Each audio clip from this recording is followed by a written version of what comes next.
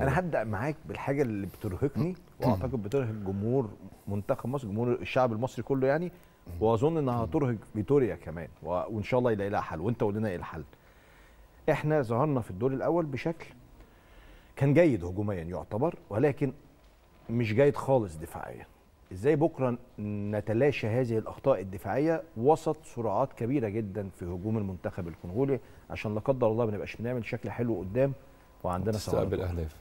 يمكن حتى ال- ال- ال- المركز اللي إحنا تأهلنا بيه والمركز الثاني صادف ان إحنا هنلاعب منتخب الكونغو اللي بالمناسبة هو بيتميز بنفس المشاكل اللي عندنا. بمعنى إيه؟ إن مشاكلنا إحنا الدفاعية في المقابل حلوة. هي قوة حلوة. يتميز بنفس المشاكل. آه آه. ما هي المرة دي ميزة. هي أيوة. المرة دي ميزة. المشاكل الدفاعية له ميزة. ميزة. هي بالنسبة ميزة. هي. بالنسبة له ميزة. لأن أنت بتتكلم إن إحنا مشاكلنا الدفاعية هي نقطة القوة عند منتخب الكونغو صحيح. فدي اللي هتزود القلق عند فيتوريا وعندنا إحنا كجمهور مصر.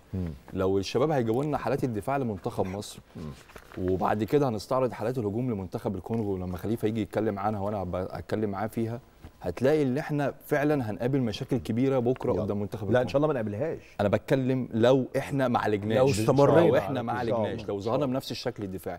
دي يمكن المباراة الأولى قدام موزمبيق. دايما الاختراقات اللي بتتم علينا كريم دايما من على اطراف الملعب. وده سببها إيه؟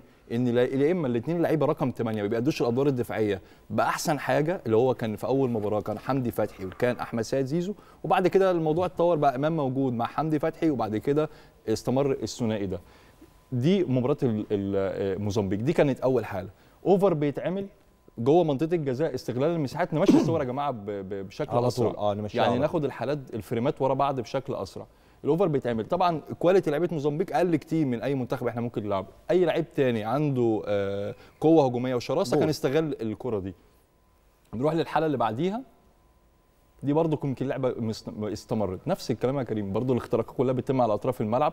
اللعيبه الكرة دي هتتمرر آه، ناحية اليمين. دي يمكن تقريبا كرة الهدف الأول لمنتخب آه، موزمبيق.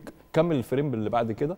كل الاختراقات اللي بتتم لكل المنتخبات في المساحة اللي ما بين ال back وما بين المساك. ودايما استغلال عدم ارتداد اللعيب رقم 8 أو اللعيب الجناح الشمال أو الجناح اليمين اللي في منتخب مصر. دي يمكن المشاكل اللي بيعاني منها منتخب. نعالجها إزاي؟ تعالجها إزاي التزام بالأدوار الدفاعية ها. سواء من اللعيب رقم 8 أو بلعيب طرف الملعب. يبقى في التزام بالأدوار الدفاعية. اللي أنا عارف اللي أنا عم- ودي دي سببها حاجة واحدة عملية الترحيل وسرعة الارتداد. اللي أنت حتى وأنت معاك الكره وبتضغط لقدام وبتفرغ مساحة ما بين الخطوط يبقى في عملية ترحيل لخط الظهر بحيث يبقى في تقارب في المساحة دايما ما بين كل الخطوط بتاعت منتخب مصر سواء الدفاعي أو وسط الملعب أو الهجومي. فدي بتقلل المساحات حتى ما بيجي عليك هجمة مرتدة. أنت بتشوف مثلا ليفربول لما بيعمل ضغط عالي فبتلاقي خط ظهر ليفربول واقف على على على آخر. نقطة في في السنتر بتاعت ال- الفريق المنافس. صح. فعملية الارتداد بتبقى صعب قوي اللي أنت الفرقة اللي أنت بتلعبها. ففي الآخر هو المنافس هيبقى إيه؟ واحد على ثلاثة مدافعين. يخليني- الاثنين ده مساكين مع اسالك ده يخليني أسألك مين الثلاثه اللي في النص اللي أنت عايز تشوفهم بكرة؟